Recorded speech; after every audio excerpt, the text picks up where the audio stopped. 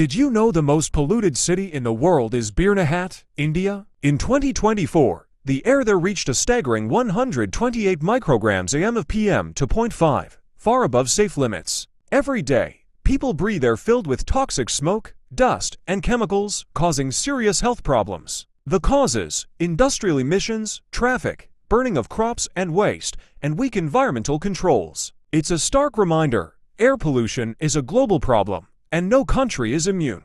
Did you know the most polluted city in the world is Byrnihat, India? In 2024, the air there reached a staggering 128 micrograms am of PM 2.5, far above safe limits. Every day, people breathe air filled with toxic smoke, dust, and chemicals, causing serious health problems. The causes industrial emissions, traffic, burning of crops and waste, and weak environmental controls. It's a stark reminder Air pollution is a global problem, and no country is immune.